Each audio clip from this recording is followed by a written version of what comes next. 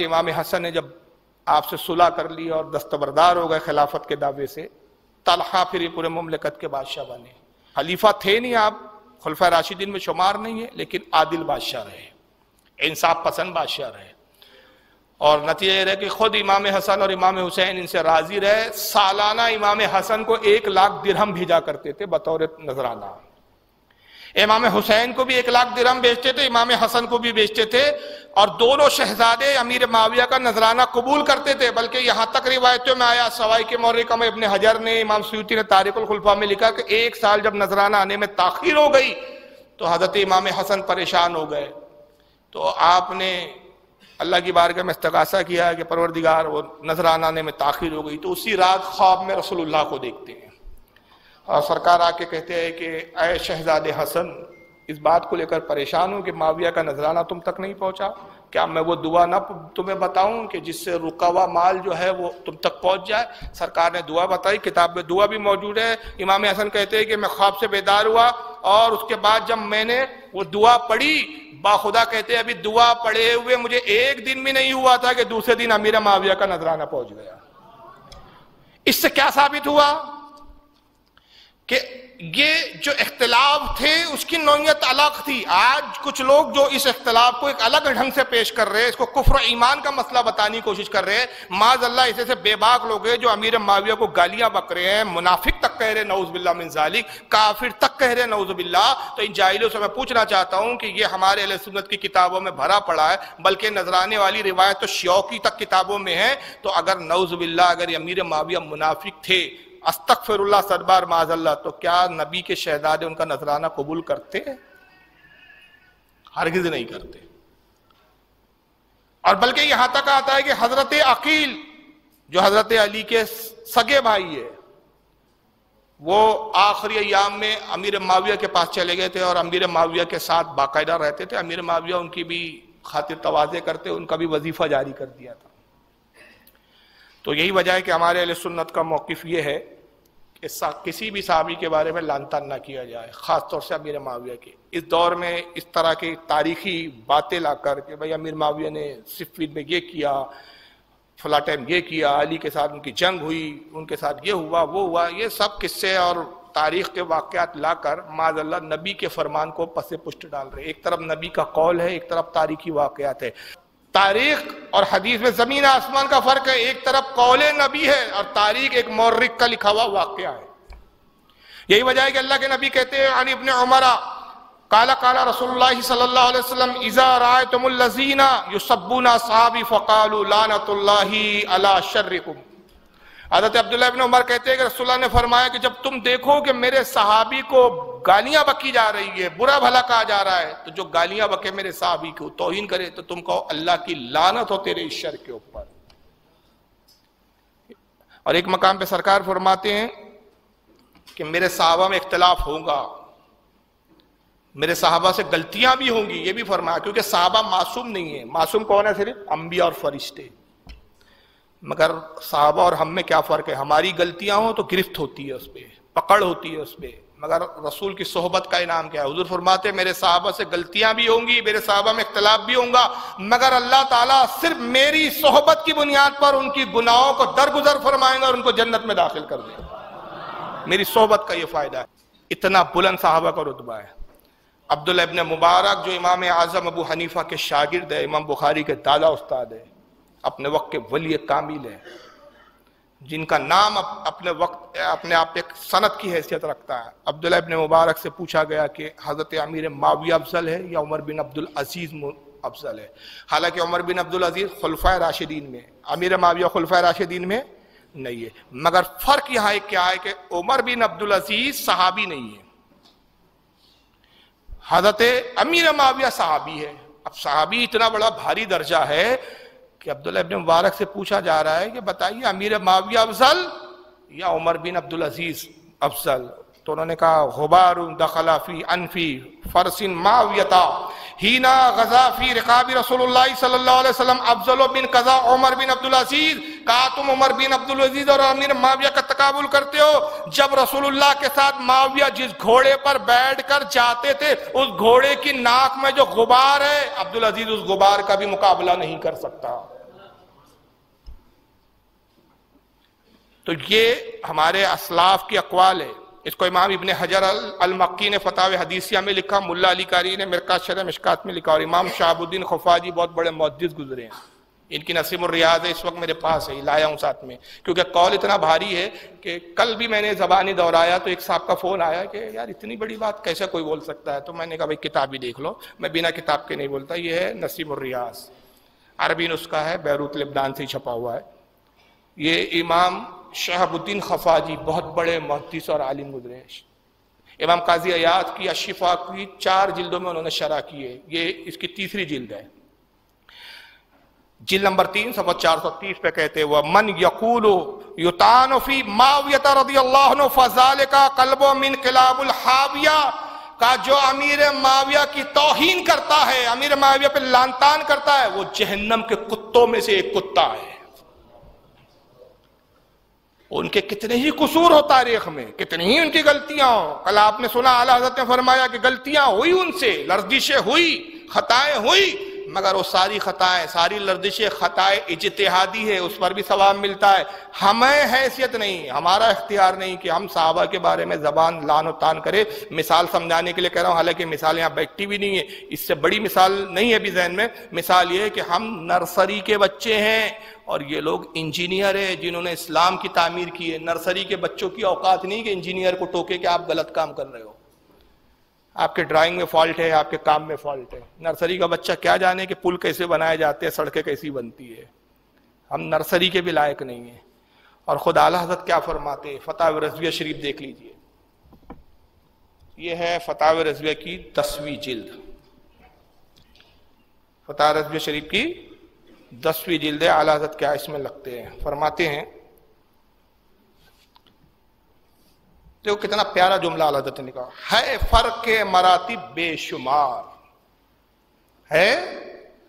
فرق مراتب بے شمار، حق بدست حیدر کرار حضرت امیر معاویہ اور علی کے درمیان میں مراتب کا مقام کا فرق تو بے شمار ہے، اس کو گن بھی نہیں سکتے، اتنا بڑا فرق ہے۔ علی اور معاویہ رضی اللہ تعالیٰ عنہ کے درمیان میں۔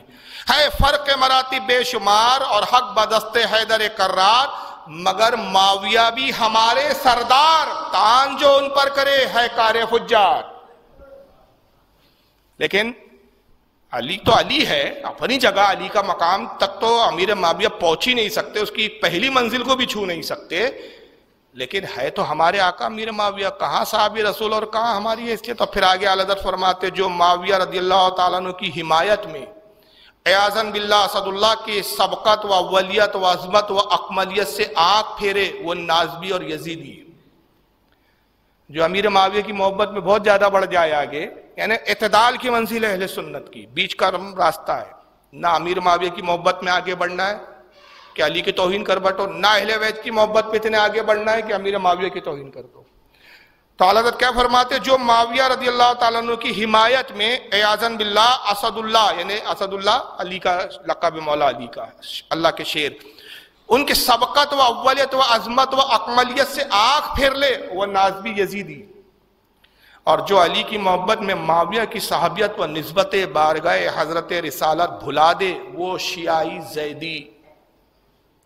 جو علی کی محبت میں امیر معاویہ کی توہین کرے، وہ رافدی، شیعہ زیدی۔ اور جو امیر معاویہ کی محبت میں مولا علی کی توہین کرے، حالات کہتے ہیں کہ وہ یزیدی۔ تو نہ یزیدی بننا ہے، نہ رافدی بننا ہے۔ کیا رہنا ہے ہم کو؟ اہل سنت رہنا ہے۔ اور چلو، اگر آپ اعلیٰ حضرت سے مطمئن نہیں نصب الریاض سے مطمئن اس پہ تو علماء کے اتنے اقوال ہے کہ اس کے لیے کئی دن کی نشست چاہیے۔ یہ سرکار غوث اعظم کی کتاب ہے الگنیت الطالبین۔ کس کی کتاب ہے؟ یہ عربی نسخہ ہے، یہ اردو ترجمہ ہے۔ میں ذرا اردو ترجمہ سنا دیتا ہوں۔ غوث پاک کیا کہتے ہیں؟ صفحہ نمبر دو سو۔ سرکار غوث اعظم فرماتے امام احمد ابن حنبل فرماتے ہیں کہ حضرت طلحہ، زبیر، عائشہ اور معاویہ رضی اللہ تعالیٰ عنہ حضرت علی کی جو ان سے لڑائی اور باہمی نفرت و عداوت کے متعلق ہمیں محاسبے، مباحثے مکالمے سے گریز کرنا چاہیے۔ غوث پاک کہتے ہیں کہ حضرت علی عبیر معاویہ، حضرت عائشہ، ان سب سے جو جنگیں ہوئی، اس معاملے میں ہمیں کیا کرنا چاہیے؟ خاموشی اختیار کرنا چاہیے موبائل سے میں نہیں پڑھنا چاہیے۔ اختلاف میں ہمیں نہیں پڑھنا چاہیے۔ کیوں؟ کیونکہ اللہ تعالیٰ قیامت کے دن ان کی باہمی بغض و عداوت رفع فرما دیں گا، جیسے کہ اللہ تعالیٰ کا ارشاد ہے کہ ہم ان کے دلوں کا کنا ختم کر دیں گے اور وہ بھائی بھائی ہوں گے اور آمنے سامنے تختوں پر بیٹھے ہوں گے۔ قرآن نے پہلی بتا دیا کہ نبی، آپ تمہارے صحابہ میں جو اختلاف ہوں گا بھی، تو ہم کیا کریں گے؟ قیامت کے دن اللہ فرماتا ہے کہ آپس میں جو ان کے ایک دوسرے کو عداوت ہے، یا ایک دوسرے کو لے کر جو غلط فہمیاں ہیں، ہم ان کے دلوں سے نکال دیں گے اور تختوں کے آمنے سامنے تختوں پر وہ ایک ساتھ بیٹھے ہوئے ہوں گے۔ وہ تو جنت میں ایک ساتھ بیٹھے ہوں گے، اس کا تو کوئی ٹھکانہ نہیں اور یہ بیٹھا ہے ماویہ ایسے تھے ماویہ ویسے تھے۔ تو یہ منہ مسور کی دال۔ اور پھر ایک جگہ فرماتے کہ اہل سنت کا متفقہ فیصلہ ہے کہ صحابہ اکرام کے باہمی اختلافات پر بحث و مباحثہ نہ کیا جائے۔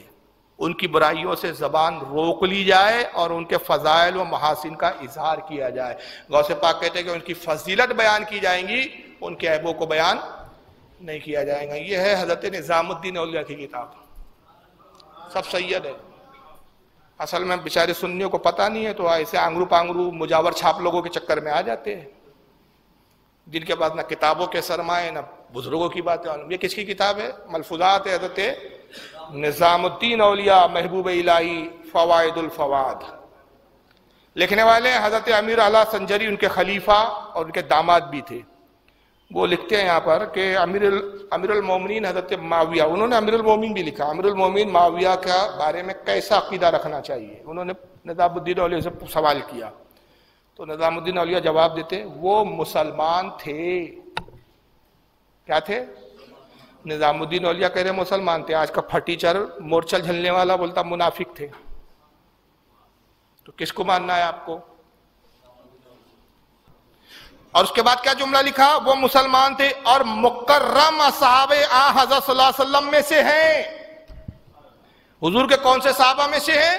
مکرم، جن کا درجہ، جن کا معیار بہت زیادہ ہے۔ اور آ حضرت کے خسر پورا ہے۔ خسر پورا کس کو بولتے ہیں؟ کہ ہماری زبان میں سالے بولتے ہیں۔ حضور صلی اللہ علیہ وسلم ان کے بہنوائی ہے حضرت امیر معاویہ کی سگی بہن، حضرت ام حبیبہ رسول اللہ کی زوجہ متار رہا ہے۔ حضور کے رشتے میں سالے ہوتے ہیں۔ امیر معاویہ کی بہن جن کا نام ام المومن ام حبیبہ تھا، آ حضرت صلی اللہ علیہ وسلم کی شرف زوجیت سے مشرف تھی۔ یہ نظام الدین اولیاء فرما رہے ہیں۔ پھر اگر شاہ عبداللہ کی بات کروں مجد الفسانی اس کے بعد پھر اگر ہم بات کریں، داتا گنج بخش لاہوری کی مخدوم اشرف سمنانی کی بات کریں اللہ تاشو اشرفی تو پھر بہت وقت چاہیے۔ کل ملا کے سارے بزرگان دین کا، چاہے وہ سلسلہ چشتیہ کے بزرگ ہو، قادری ہو، نقش بندی ہو سوروردی ہو، جتنے صوفیہ اولیاء ہے جتنے امام ہیں، سب کا اجماع ہے کہ کسی صحابی کو برا نہیں کہا جائے گا۔ امیر معاویہ صحابی ہے اور جنتی ہے۔ اور جو ان پہ لان تان کرے، ان کی صحابیت کا انکار کرے، ان کے عیبوں کو بیان کرے، ان سے نفرت کرے، وہ الٹا جہنم میں جانے والا ہے۔ کیونکہ اہل بیت کی کوئی ہمارے یہاں مستلد ایسی روایت نہیں، وہ سب شیعوں کی گڑی بھی روایتیں کہ جو لاتے ہیں کہ فلاں امام نے ان پہ تبرہ کیا، یہ کیا، ہمارے ایسا کچھ نہیں ہے۔ اور ہمارے یہاں سیدوں کی روایتیں آئی ہے تو لہٰذا جب بھی کوئی تاریخی حوالہ پیش کر کے بولے کہ امیر معاویہ نے فلا کام کیا فلا کیا، تو صرف ایک سوال میں نے اس دن بھی سوال دیا تھا، اس دن مجمع کچھ اور تھا، آج تھوڑا کچھ الگ لوگ ہیں، تو یہ لے کے چلے جائیں آپ نسخہ کہ کوئی بھی مجاور، کوئی بھی خادم، کوئی بھی چادر والا، گاگر والا، ڈھول والا، قوالی والا آپ کو پکڑے اور امیر معاویہ کی برائیاں شروع کر دے، تو اس سے پہلا سوال کیجیے کہ پہلے تو یہ طے کر کہ تو شیعہ ہے کہ سننی ہے۔ پہلے اس سے یہ کہلواؤ کہ پہلے تو یہ بتا کہ تو شیعہ ہے کہ اگر تو شیعہ ہے تو پھر کوئی غرض نہیں، تو جا سینے پی اللہ نے دنیا پہ بھی تیرے لیے یہ عذاب رکھا ہے اور آخرت میں اس سے بڑا ہے۔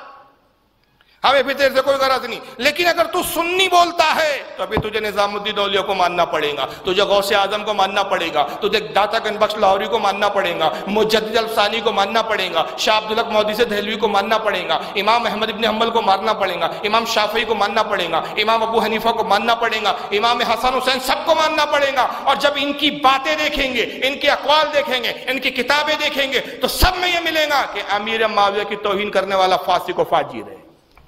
اہل سنت سے خارج ہے لہذا ابیر معاویہ کا بھی ادب اپنی جگہ۔ یہ ضرور ہے کہ اعتدال اہل سنت کا یہ ہے کہ حق علی کے ساتھ تھا۔ علی کو ہم ہر معاملے میں حق پر جانتے ہیں۔ البتہ اس کے مقابل یہ کہ امیر معاویہ سے خطا اشتیادی ہوئی۔ صحابی ہے اپنی زبانوں کو لان تان سے ان کے خلاف نہیں کھول سکتے۔